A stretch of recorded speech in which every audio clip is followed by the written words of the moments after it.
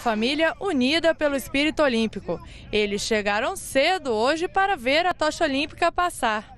A tocha aqui no Brasil para nós é muito importante. Ela vem trazendo a paz, o amor, em todos os cantos da capital de Goiás foi assim. A tocha virou o assunto dos goianos. Traz a valorização da nossa cidade e mesmo que os jogos não aconteçam aqui, estimula os nossos atletas. Gleice Barbosa foi uma das escolhidas.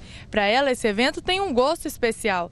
Gleice é portadora de uma doença rara de pele, a xeroderma pigmentoso, e quer chamar a atenção de todos para esse tema. É uma oportunidade única para a gente poder divulgar né, o nosso trabalho de poder dizer para as pessoas de todo o Brasil e de todo o mundo que acompanha os Jogos Olímpicos né, o que significa xeroderma pigmentoso, quem são esses anônimos que vivem pelo mundo afora, portador de uma doença rara, né, mas que bastante grave.